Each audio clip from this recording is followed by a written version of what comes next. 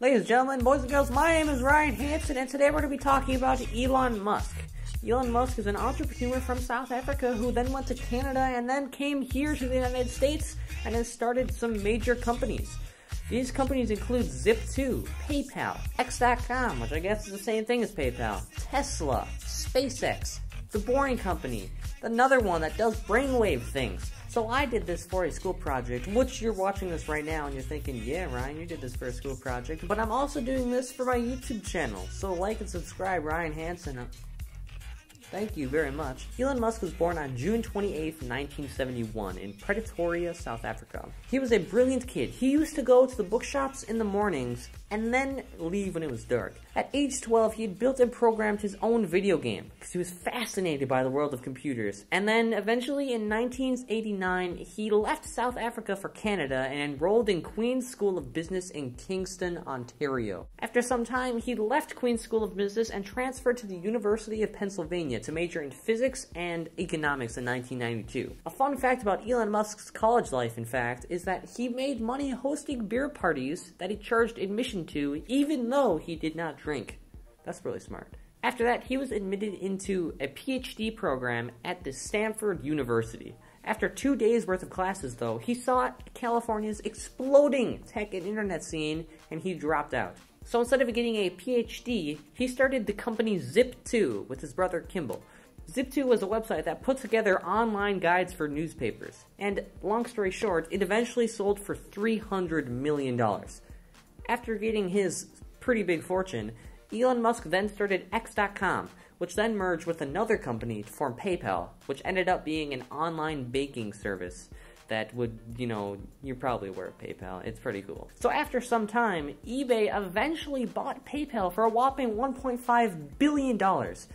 And Elon Musk is estimated to get around $160 million from that. With that estimated $160 million, Elon Musk started SpaceX, a rocket company that does many things, but primarily tries to get people onto Mars so that they can colonize it and then it'll be like a second Earth type thing. Elon Musk also co-founded Tesla, an all-electric car company that focuses on accelerating the advent of sustainable energy so that we can imagine far into the future and life is still good.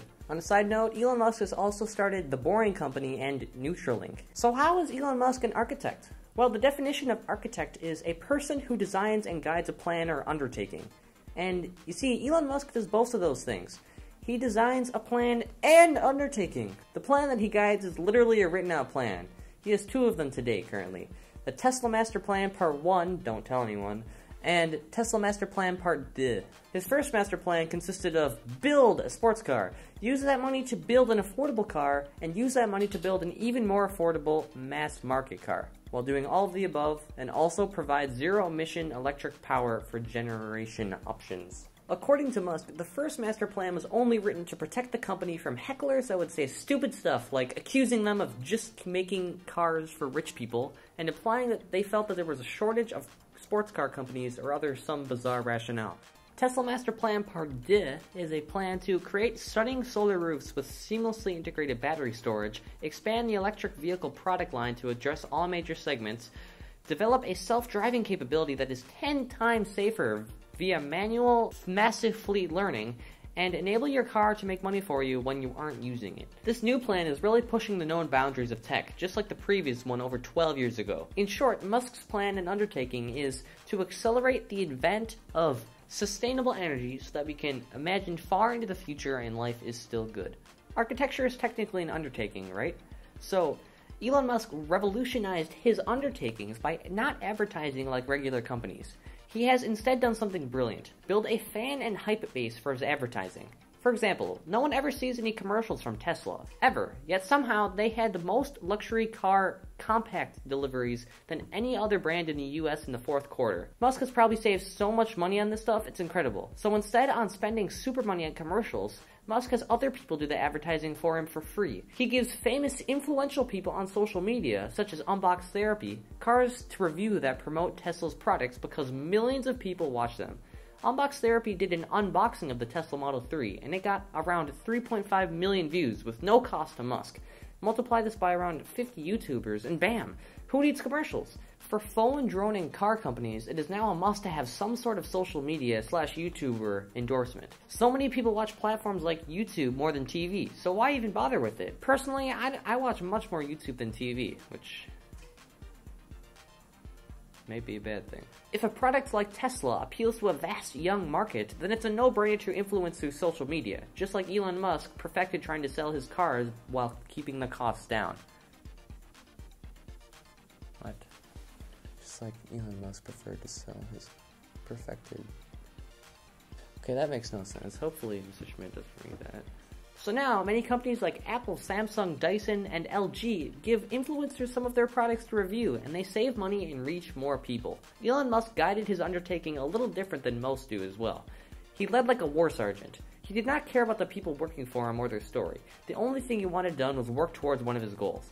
And if they failed, Elon Musk wasn't happy at all, which resulted in mass firing and telling people to get their together. The reason I chose Elon Musk was because many other people were doing boring architects like Frank Lloyd Wright or Norman Foster, but I wanted to do something a little different, and I was really set on Elon Musk before we realized that, hey, you gotta do an architect. So I was like, you know what, I'm gonna make it work. So I found out the definition, and I was like, yo, Elon Musk is an architect. And then, bam, Elon Musk is an architect now. Throughout this journey of learning, I've learned one thing that's pretty darn cool, is that Elon Musk hosted those beer parties that was that was pretty cool. It's actually kind of brilliant to charge people admission to beer parties and then make a bunch of money off of them, which is which is cool. For me, I'll remember Elon Musk as an innovator who innovated a technology that had been sitting around and pretty much just staying how it was for the past 50 years. And now he's sparked an interest for me to want to be something like an aerospace engineer and actually work for one of his companies, SpaceX. So I'll remember him as someone who's trying to push the boundaries and make life better for people doing stuff. That's legit. so I'm Ryan Hanson. Thank you so much for watching. Uh, hope you enjoyed the background of MKBHD's studio and have a great rest of your fabulous day. Oof. But remember, Elon Musk is in a ton of crazy, impactful things that will change all of our tomorrow. But I can't say that because that's speculism. And Mrs. Schmidt will probably look at me while I'm saying this and she'll be like, Ryan, that's speculism. And I'll be like, yeah, it is. And then she'll be like, Ryan, why are we having this conversation? Because you're literally talking about it on the screen. I'll be like, yep. And then she'll be like, all right. How am I going to put this on YouTube?